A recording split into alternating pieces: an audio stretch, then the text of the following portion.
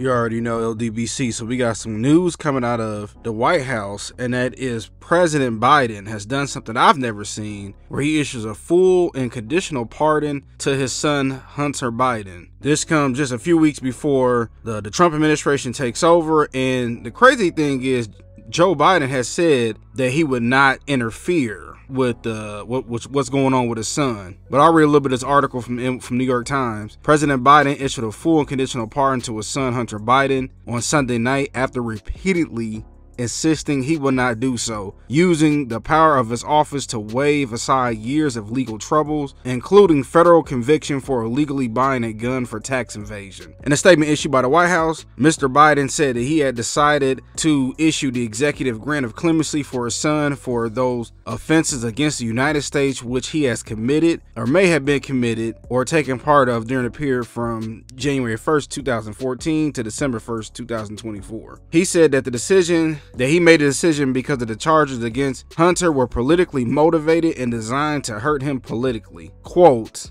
the charges in in his cases about only after several of my political opponents instigated them to attack me and oppose my election. No reasonable person who looks at the facts of Hunter's cases can reach any other conclusion than Hunter was singled out only because he is my son and that is wrong. It's game one now, honestly. And, you know, people talk about Donald Trump and what happened January 6th, a few years ago and how maybe he might give all those people a pardon. Well, now I wonder what the media is going to say about what's going on with this because could you imagine if Donald Trump did something like this? This man literally just used his executive powers to the full extent. And don't get me wrong, I remember when Gerald Ford gave Richard Nixon a pardon, and, and you know, but it's it's different. A president, this literally this man's son. This man said, "Forget it." But I guarantee you, if somehow, for whatever reason, Donald Trump gave Donald Trump Jr. Uh, a pardon, it would be World War III in this country. All in the media, people crying.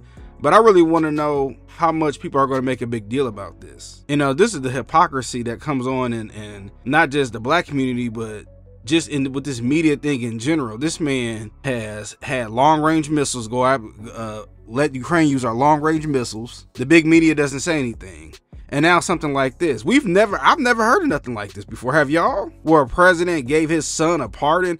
And we, we understand that politics have always been corrupt to a degree, but I mean, to this, where you literally come out and say, you know what, I'm not going to interfere. You interfere anyway. And then you say, well, my political opponents is out against me, but if uh, somebody else were to do like a Donald Trump or George Bush, you would hear people on, on media talking about it, it, this might America might now become a dictatorship and he has too much power and all of this. But I just really wonder how much of an uproar people want to make about this. You know, and I'm not a Republican, honestly. You know, but uh, it just it's funny how the same thing can happen from the same the same situation can happen, and you can get two different versions of it from the big media and just from people in general, honestly. But I just want to get my quick thoughts about it. It's crazy, man. Well, tell me what y'all think.